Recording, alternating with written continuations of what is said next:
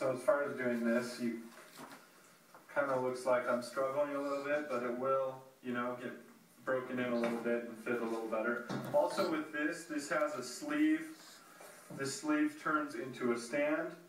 So it has this little hook inside that I can bring around and hook there.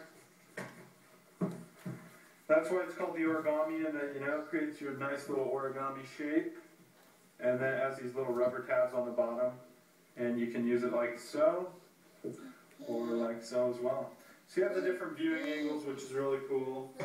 You know, in case with both the maki and the origami, it's great. And then you can use it as a sleeve and as a stand, which is really everything you need, and they both are relatively slim.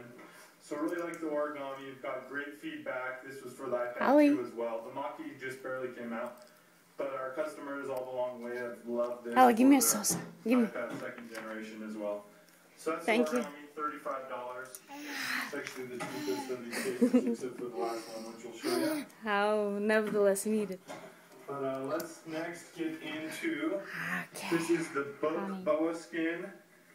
Again, pretty simple. This is a sleeve type case. You know, it's got a stretchy kind of neoprene.